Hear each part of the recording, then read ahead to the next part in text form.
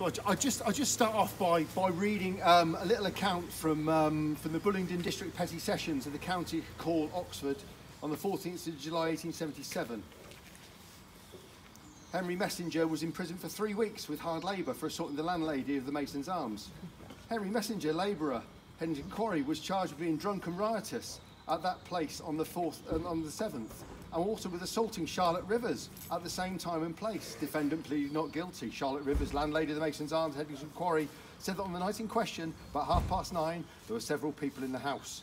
The defendant came into the tap room drunk and attempted to fight. She ordered him out, and he, after using bad language, took her by the, uh, took her by the arm and knocked her head against the door.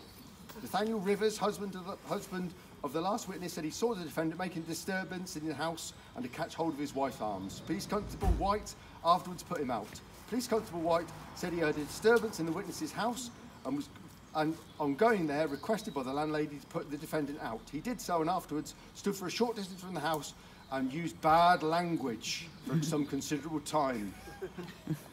Wisdom Smith was called for the defence and he said the landlady did not order the defendant out and she struck him first and he only endeavoured to ward off her blows.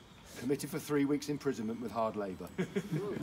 um, never a dull moment, never a dull moment, never a dull moment.